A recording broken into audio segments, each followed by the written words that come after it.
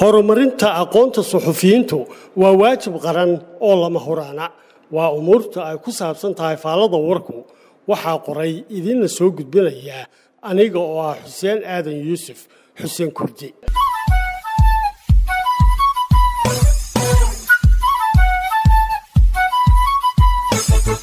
xorriyatilqowlka iyo ra'yi dhibashada waxaa lagu tiriyaa mid ka mida hadafyada ugu muhiimsan ee saxaafaddu leedahay. Waxay dadka siisaa xuquuqda ay ku cabiri karaan ra'yigooda iyo aaraada kala duwan ee bulshada dhexdeeda waana halka codkooda laga maqlo dadka aan codkoodu meel gaadhi karin. Waxayna saxaafaddu dadka u soo gudbisaa xogo iyo warbixinno waafiya oo ku saabsan waddamadooda iyo waxa ka socda adduunka sida arrimaha caalamiga ah oo ay ku jiraan siyaasadda dadweynaha horumarinta agabyada iyo dhacdooyin kale oo kala duwan.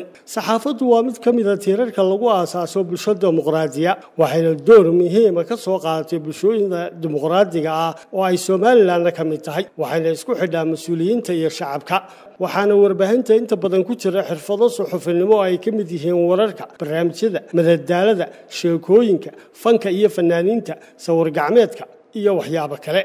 Saxaafaddu waxay inta badan ujeedadeedu tahay inay ka caawiso dadku inay gartaan xuquuqdooda iyadoo loo marayo qoraallo maalinle iyo toddobaadla iyadoo u adeegidda muwaadiniintu ay tahay yoolka asaasiga ee jiritaanka saxaafadeed.